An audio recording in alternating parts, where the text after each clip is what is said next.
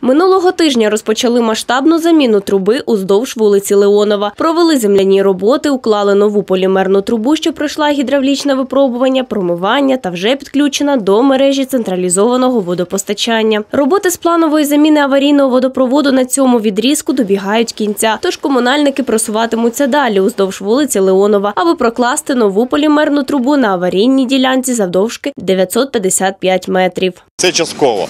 Прокладено десь 120 метрів погонних. Зараз відбувається зворотня засипка, е, потім будуть е, вкатувати, ущільнювати цю основу, потім щебення, потім асфальтування таким чином. Е, Трохи далі по трасі ми побачимо ще, як ми рухаємось далі. Е, Тобто все йде за графіком. Вихідні е, дні плануємо продовжувати роботи. Уранці на вулиці Молодіжній сталася аварійна ситуація на квартальній водопровідній мережі. Комунальникам вдалося швидко перекрити водопостачання завдяки торік оновленим засувкам. В зону відключення попали шість багатоповерхових будинків.